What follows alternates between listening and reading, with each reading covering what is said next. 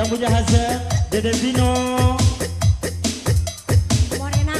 Bos Jakarta Bos Jakung Bos Sabar Subur